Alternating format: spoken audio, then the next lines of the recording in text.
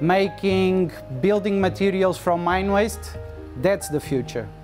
It's really eco-friendly, economically viable, and it forms part of our future circular economy. And we at Wienerberger believe in this raw material for making bricks and roof tiles.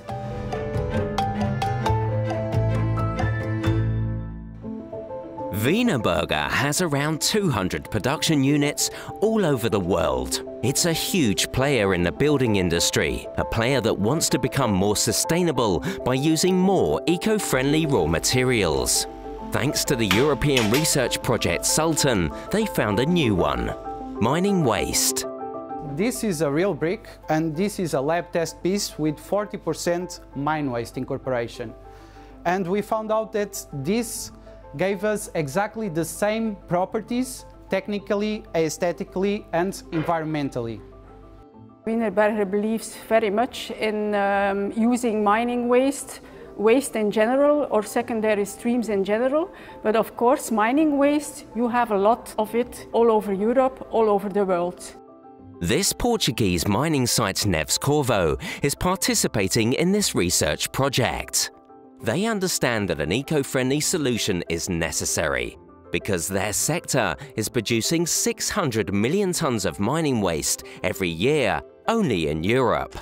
And there is also the historical stockpile of 28 billion tonnes of old mining waste in Europe, hidden away in nature below the surface, like here in the old Plombières site in Belgium. Now, it turns out that mining waste can be an ideal raw material a new geological approach has been developed.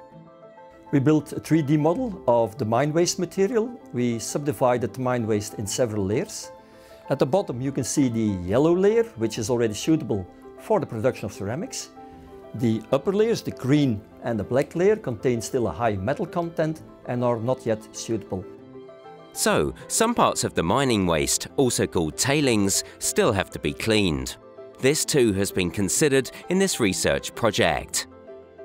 So what we're doing is to develop new metallurgical systems so as to clean uh, the tailings from the hazardous element content like arsenic and cadmium and to recover the remaining valuable metal content like copper and zinc. The last tests with the new eco-friendly building products at Wienerberger were excellent. Now, it's time to turn this very promising lab-scale product into an industrial winner. At Wienerberger, they believe in it. When everything goes well, I think in one year you can go in production with this mining waste. The faster we can save our primary raw materials, the better.